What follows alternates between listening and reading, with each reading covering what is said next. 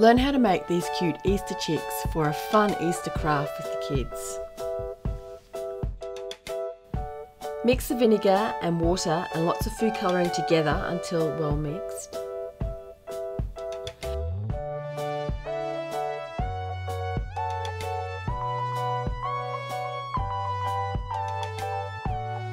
Place the eggshells into the dye and leave them for a few minutes depending on how bright you would like the eggs. Take out the eggshells and allow them to dry on the tray. I used a pasta spoon with the measuring holes to make the pom-poms, but you can make the pom-poms using any method. Start to wind the wool around the spoon. We are going to make the chick's head first, so we need to make a small pom-pom.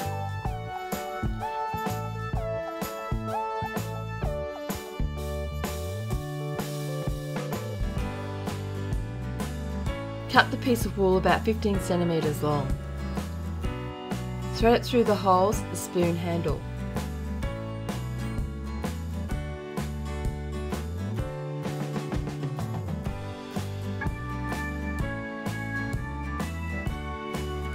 Move the wrap wool from the larger part of the spoon towards the handle, making sure the wool moves over the thread length of the wool. Grab the ends of the wool and tie it tightly around the centre of the pom-pom.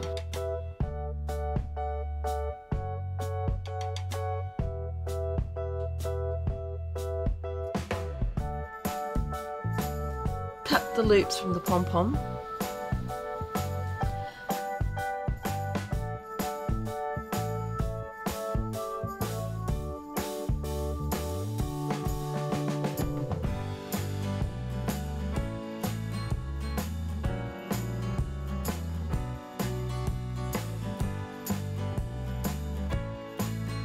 Fluff and trim the pom-pom.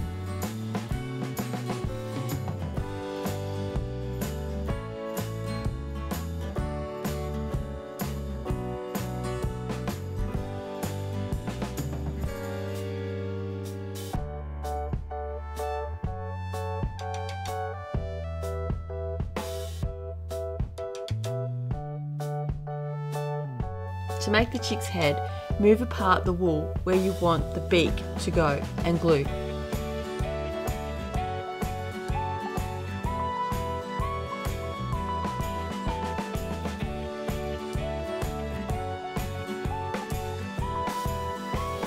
Then press in the paper beak, made from the orange paper, into the gap.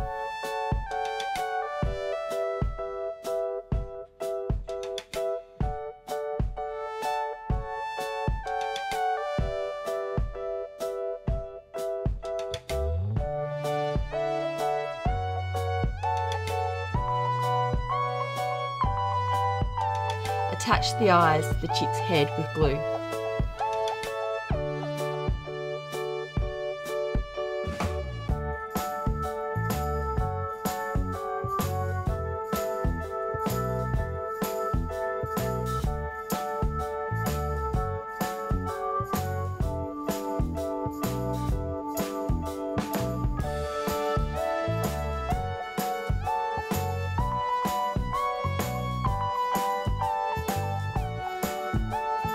Make a larger pom-pom for the chick's body.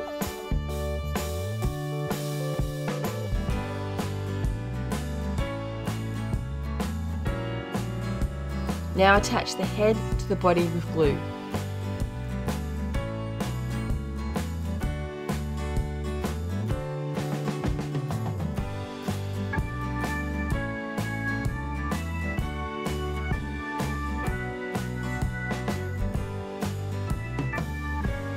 Allow the chicks to dry.